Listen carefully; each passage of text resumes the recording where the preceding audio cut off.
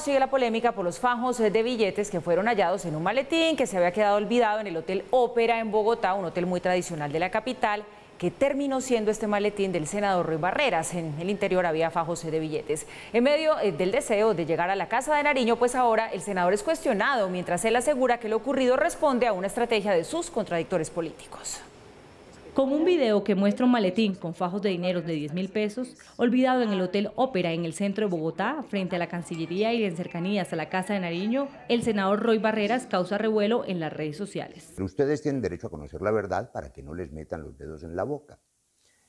Ustedes están viendo el tamaño del maletín, un maletín pequeño, quise mostrárselos, como el de cualquier persona. A cualquiera de ustedes se le puede haber quedado alguna vez en un aeropuerto, la cartera, el paraguas, un maletín. En este, el mío, el que cargo todos los días, no cabe sino mi agenda, unos sobres de Manila, el cargador del teléfono, y lo que omitieron en la nota, pero ustedes lo pueden ver con detalle, es que los billetes que hay allí son billetes de 10 mil, que retiro para mis pagos personales. Para Barreras esto es una estrategia de los contradictores de cara a las elecciones del próximo año. Si piensan que a punta de videos infamantes, convirtiendo en noticias elementos sin importancia de la vida cotidiana van a evitar su derrota, se equivocan.